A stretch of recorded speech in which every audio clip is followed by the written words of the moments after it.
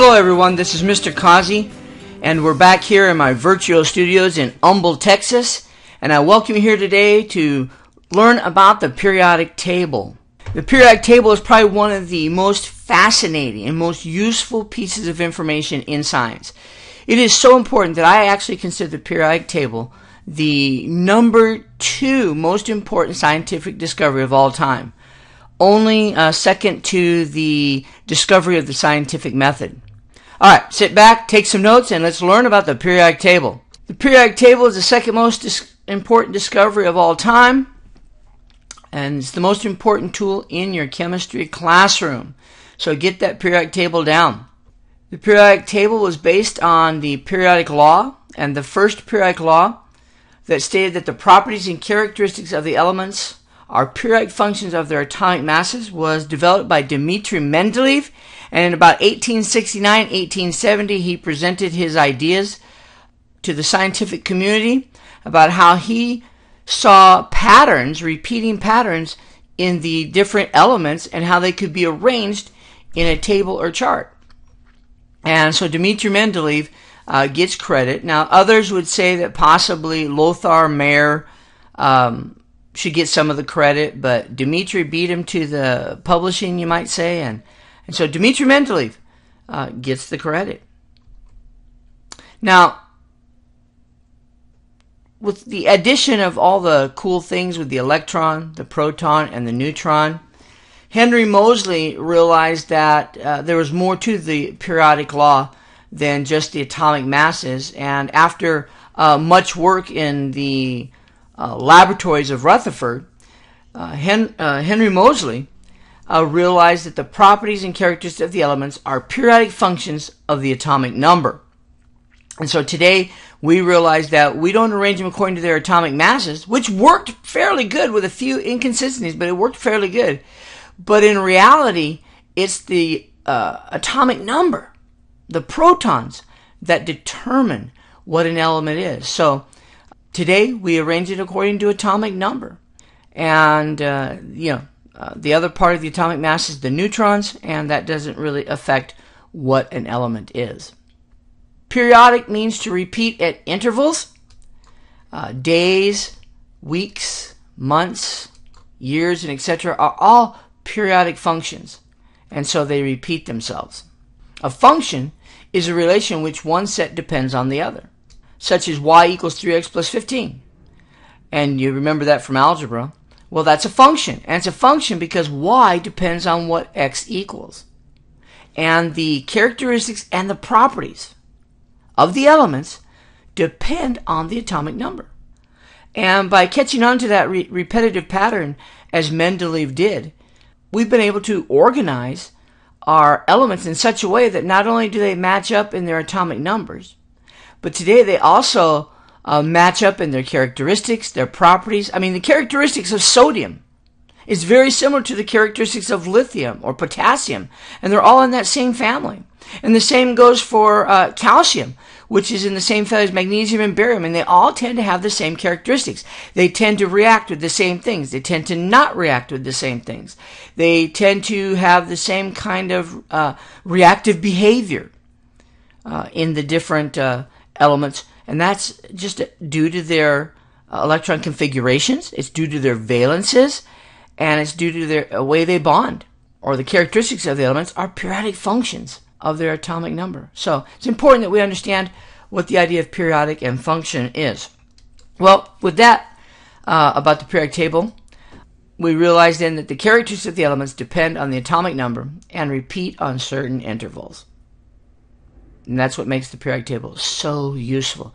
There are so many things we're going to use the periodic table for in the uh, coming lessons as we learn about chemical uh, properties, as we learn about chemical reactions, as we learn about chemical names, as we learn about how to uh, determine chemical bonding.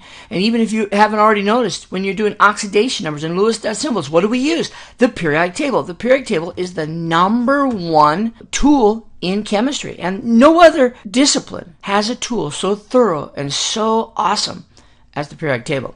Always have a periodic table with you or take the time to memorize it. I'd say just have a periodic table with you. Have it up on the wall, keep one in your book, keep one in your notebook. Just have a periodic table with you everywhere you go when you're doing chemistry. All right, periods and series. The periods are the rows of the periodic table. So all the rows are the series, and there's seven rows, and we're going to learn the special meaning of those rows. The families or groups, families are the columns of the periodic table.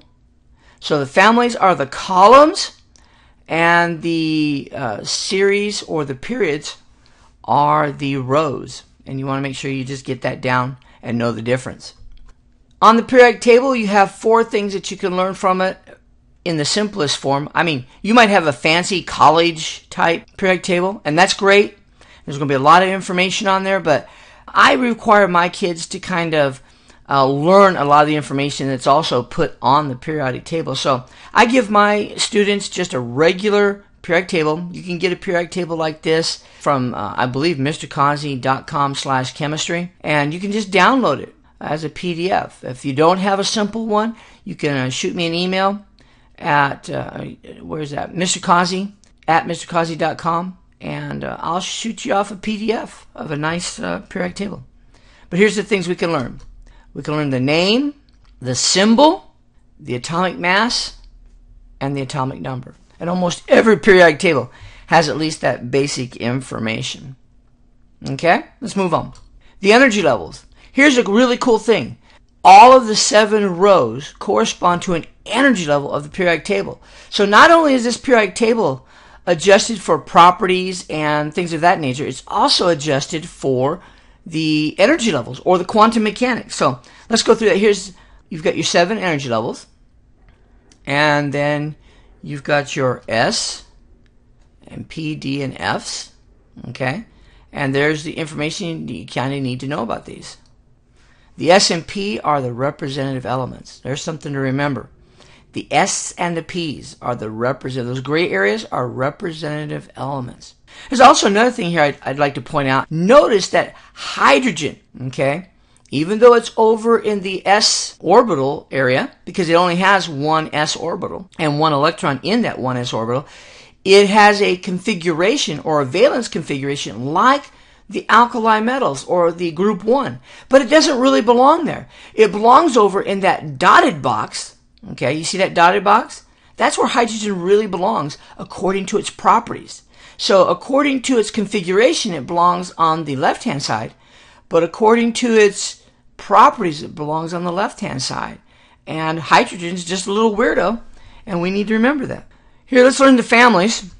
You've got alkali metals, the alkali earth metals, the noble gases, the halogens, the chalcogens or oxygen family. Here's our metals. All the yellow are the metals and most of the elements are metals. There's our nonmetals, the red. You notice that hydrogen's red because it is not a metal. There's our semi-metals or metalloids that kind of separate the metals from the nonmetals. And uh, I noticed that when a semi-metal is with a metal, it tends to be a nonmetal or behave that way. And when a semi-metal is with a non-metal, it tends to act like a metal. And so I guess that's why they call them semi-metals. There's our transition metals, and they're the d orbitals. Our inner transition metals are the f orbitals. Most of those are radioactive. And do you have any questions?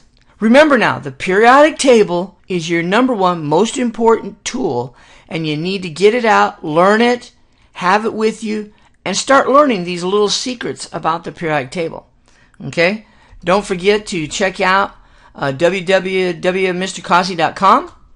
You can see PowerPoint videos and much, much more, handouts, etc.